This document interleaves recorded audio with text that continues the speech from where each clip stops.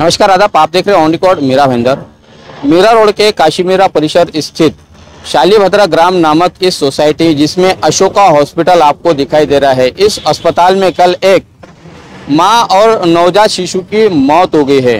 परिजनों ने आरोप लगाया है कि इस अस्पताल के लापरवाही के चलते और यहाँ के बद इंतजामी के चलते ये मौत हुई है। आइए हम आपको ले चलते हैं, क्या कहना है पीड़ित का जिन्होंने अपनी बीवी और नवजात शिशु को खो दिया है। मेरी वाइफ के मतलब डिलीवरी होने वाली थी। तो एक दस दिन पहले की बात है। उधर जाके मतलब बात किए, सब चीज़ किए कि हाँ कितने में क्या खर्चा आएगा, कैसे क्या होगा। तो उन्होंने खर्चा बताया, पच्चीस हज़ार रुपया लगेगा। और बुक खोल के दिखाया कि मैं एक नहीं कई करवा के दिया हूँ मैं। कोई ऐसा नहीं आया, हमारे पास में हर तरह के इंतज़ाम है, मशीन है सब चीज़ है।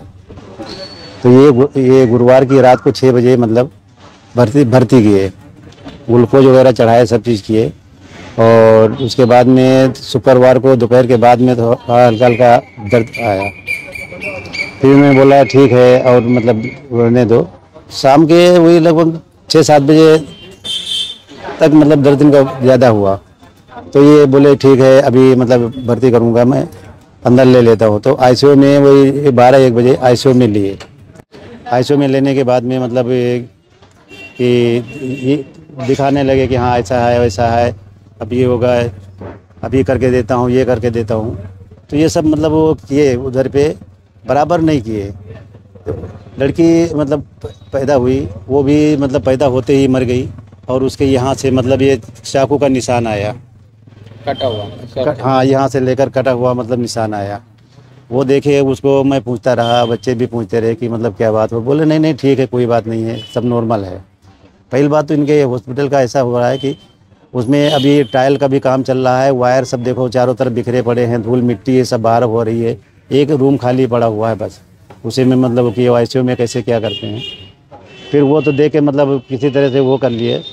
फिर वहाँ से मतलब इनकी हालत ज़्यादा ख़राब हुई। ये बता नहीं रहे, ना अंदर जाने दे रहे हैं कि नहीं, अंदर नहीं जाना है। ये जा, थोड़ी देर के बाद में मतलब वो दो ढाई बजे के टाइम में टूँगा ये फ़ोन किए या कैसे किया, टूँगा हॉस्पिटल से वकाट हॉस्पिटल से एंबुलेंस और तीन आदमी पहुँचे वहाँ पे। दरवाज़ा पीटते रहे, ये अंदर से दरवाज़ा नहीं खोले। दरवाज़ा नहीं खोले, वो खड़े हुए पंद्रह बीस मिनट के बाद में वापस चले गए तो इन्होंने क्या बोला कि ऐसा है कि मैं टूँगा हॉस्पिटल से मेरा आदमी है और मेरा पहचान है, मेरी गाड़ी आ रही, वो मेरी टीम आ रही है तो उधर से लेकर जाएँगे। आधा घंटा बीत गया, दस, एक घंटा बीत गया, जब बर्दाश्त से बाहर हो गई तो बाद में ये आया कि ऐसा है कि गार्जियन कौन है, क्या है? ये गार्जियन बताने लगे। तो जब गार्जियन के बोले कि साइन चाहिए तो उसने मना कर दिए। फिर बाद में उन्होंने मतलब जाके लड़की ने पैर मारा जाके दरवाजे में के तो तब भी नहीं जाने दिए। फिर बाद में अंदर बाहर बुलाया, कह रहे कि भाई ऐसा है कि हमें बात करना है, टेबल पर बुला के। तो टेबल पर बुला के उसने बात किया कि ऐसा है कि देखो, ये था, ये कमी थी, ये किया, ये लगाया, वो लगाया। दुनिया भर का मतलब वो किए। अच्छा हॉस्पिटल ऐसा था कि उसमें ये नहीं समझ में आया कि डॉक्टर कौन है और कंपाउंडर कौन है। मेन डॉक्टर है वो दस दस मिनट पर नीचे जाके सिगरेट पी के आता है और द, मतलब धुआँ के स्मेल आती सब चीज़ आती। फिर बाद में लड़की ने जब गुस्से में जाके देखा तो मतलब वो ख़त्म हो चुकी थी। अंदर लड़की ने जो देखा वो क्या नज़ारा था और अंदर आप लोगों को जाने से क्यों मना किया जा रहा है बोले कि नहीं अं- अंदर ऑपरेशन चल रहा है अंदर जाने के लिए मना है। अरे जेंट्स के लिए मना है लेकिन लेडीज़ के लिए मना नहीं होता है। फिर बाद में देखे ना बाद में देखे अगर तो जैसे लगा कि जैसे कोई नहीं बकरे का जैसे गला काट देता है तो इतना बिखरा खून नीचे पूरा बिखरा हुआ पड़ा था। फिर आपको क्या फिर बताया गया कि म- माँ और बच्ची जो है दोनों की डेथ हो गई है? कैसे बताया गया आपको? नहीं पहले उन्होंने बताया नहीं। बहुत कोशिश करने के बाद में बताया नहीं फिर बाद में वो अपने आप से जब जाने की यहाँ भगद उड़ने लगी लड़की वो परेशान होने लगी तो ये बोले कि ऐसा है कि एक मिनट मुझे बात करना है।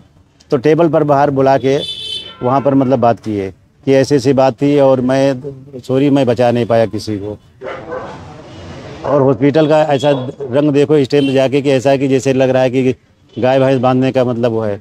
वायर सब बाहर के लटके हुए हैं, सब चीज़ पूरा ये टाइल भी लग रहा है धूल मिट्टी इतना है एक भी रूम खाली है। लगता है कि ये हॉस्पिटल की लापरवाही थी? लापरवाही की वजह से हुआ है ये तो मैं खुला बोल रहा हूँ। लापरवाही करना कोई दवा की ज़रूरत होती है तो जैसे आदमी नीचे राशन की दुकान पे जाता है कि हाँ दस रुपये की चीनी दे दो पाँच रुपये का ये दे दो ऐसे वो दवा लेकर मतलब बार बार भेज रहे हैं लाने के लिए।